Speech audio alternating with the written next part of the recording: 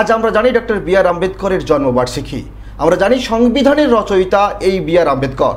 সারা দেশ জুড়ে মহা সমারোহে পালিত হচ্ছে তার এই জন্মদিবস। আর এ থেকে কিন্তু বাদ পড়ল না ব্যারাকপুর, নয়াবস্তি, কাজীপাড়া এলাকার নামও।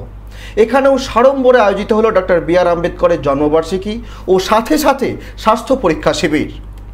উক্ত অনুষ্ঠানে বিশেষ অতিথির আসন অলঙ্কৃত করেছিলেন উত্তর ব্যারাকপুর পৌরসভার পৌরপ্রধান মলয় ঘোষ এবং উত্তর ব্যারাকপুর পৌরসভার পৌর পরিষদ সদস্য সঞ্জীব সিং, উত্তর ব্যারাকপুর পৌরসভার পৌরপিতা আইনজীবী রবীন্দ্রনাথ ভট্টাচার্য সহ অন্যান্য বিশিষ্টজনেরা আর এই অনুষ্ঠানে উপস্থিত হয়ে আমাদের চ্যানেলের সাংবাদিকদের মুখোমুখি হয়ে তিনি তুলে ধরলেন বাবা সাহেব আম্বেদকরের কৃতিত্বের কথা। এছাড়াও তিনি আরও কি কী বললেন, শুনুন বিস্তারিত। আজ এতদিন পরও ডক্টর বি আর আম্বেদকরের আমাদের কাছে এক চর্চিত নাম। কেননা আমাদের দেশের দলিল অর্থাৎ সংবিধান যা কিনা তার হাত ধরেই রচিত হয়েছিল। তার যে সংগ্রাম দলিত মানুষদের নিয়ে তা আজও কিন্তু ইতিহাসের পাতায় স্বর্ণাক্ষরে লেখা আছে। কথায় আছে, মানুষ চলে যায়, কিন্তু বেঁচে থাকে তার কর্মের মধ্য দিয়ে। আর সেই রকমই এই মানুষটিকে অবিস্মরণীয় করে রাখার জন্য এই অনুষ্ঠান এবং এই স্বাস্থ্য শিবিরের আয়োজন।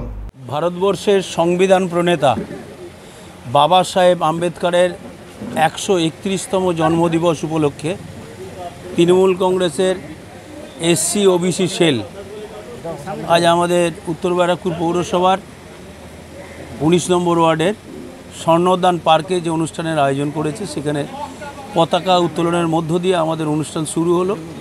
স্বাস্থ্য পরীক্ষা শিবির রয়েছে, বহু মানুষ স্বাস্থ্য পরীক্ষায় আসবে এখানে।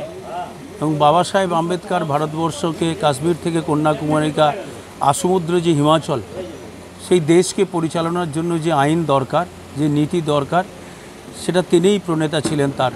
তাই তার সেই দিনটিকে স্মরণীয় করে রাখার জন্য আজকে এসসি ওবিসি সেল তৃণমূল কংগ্রেসে তারা যে আয়োজন করেছে এই আয়োজনে আমরা উপস্থিত থাকতে পেরে নিজেদেরকে ধন্য মনে করছি এবং বাবা সাহেবের প্রতি আমরা উত্তর ব্যারাকপুর পৌরসভার পক্ষ থেকে সশ্রদ্ধ প্রণাম নিবেদন।